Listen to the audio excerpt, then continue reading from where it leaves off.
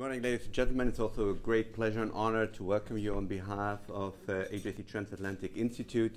Uh, I will keep this very brief so we can uh, quickly come to our keynote speech and our, uh, and our experts.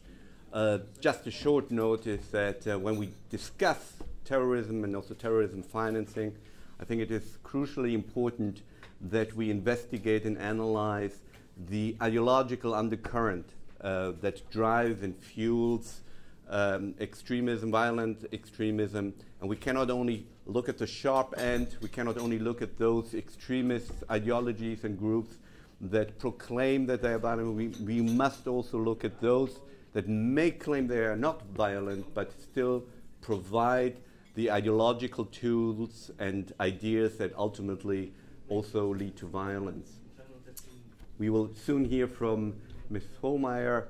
Uh, I just want to also briefly quickly introduce our, um, our experts. Dr. Magnus Norell, uh, Norell um, uh, from uh, Euro European Foundation for Democracy. Uh, he will specifically look at the Muslim Brotherhood um, uh, very often also not, including in this house, often misunderstood as a, as a potential so-called moderate partner.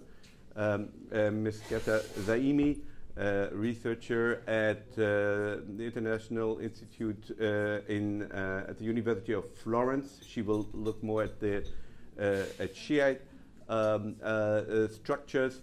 And Michael Laubsch, analyst with Stop Extremism organization um, um, as well.